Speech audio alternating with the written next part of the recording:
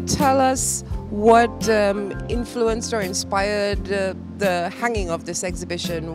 Where did the idea come from? And what were some of your thoughts in putting this whole show together? Thanks, Tracy. Um, the idea for the exhibition actually came when I was working on the archives. Um, I started off as a one person department, but we very quickly became four. So we were collectively looking at these materials. And one was we just felt they were amazing and they needed to be seen because they weren't publicly accessible although that was something the trust wanted to make happen. So with this was a process of digitizing of cataloging and then as we started looking at these materials we started thinking about Geoffrey Bawa's kind of emphasis on being on site to design and being in a place. And then what role do these drawings have when you consider that kind of position of being there to design, which is also how the exhibition takes its title. Um, and from that, this idea of doing something on the archives, which allows us to look back, but also really then talk about architecture more generally and talk about what an architecture practice is, which is a very collaborative, very fluid process.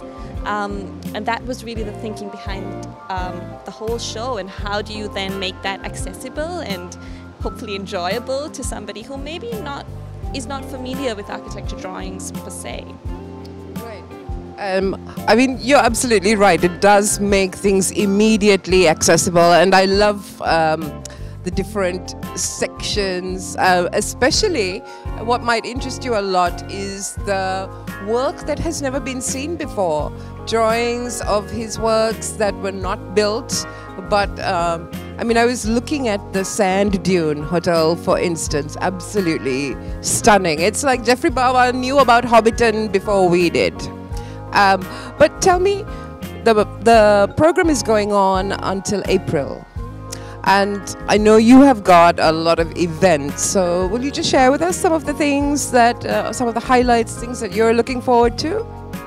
Um, so the program is really about bringing this content and engaging with this content with everyone from architects, designers, um, but also children and just everyone. It's really a show for everyone. It's presented in three languages. It's open every day and all of the public events are free of charge. And the idea with that is one is we have a reflection series, which is different people who worked in the on these drawings who are still with us, like Channa Daswatte, Ismeth Raheem, Anuradha Vibhushanam, giving us their perspective.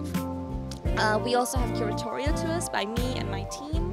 Have, I'm really excited our designers who designed the show will also be talking about that effort. A lot of it, it there was a lot of firsts happening with this.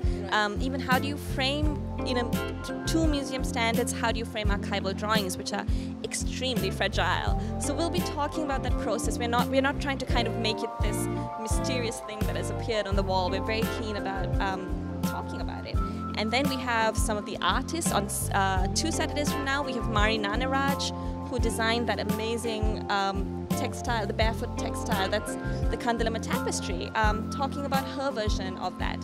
So I think through the program we'll be unpacking some of this content, sometimes with a very close look, sometimes walking through the show. Um, and we also have workshops, which are always great. Um, it's a great, there's no better way to understand something than to try and make it. So we'll be doing screen printing, we'll be doing uh, drawing workshops for kids. So I'm really excited about that, um, the two months we have to go. The exhibition, the Bawa exhibition, you can find out more about the programs when you visit bawaexhibition.com. It'll also show you the whole range of programs from guided tours, to all the workshops as well.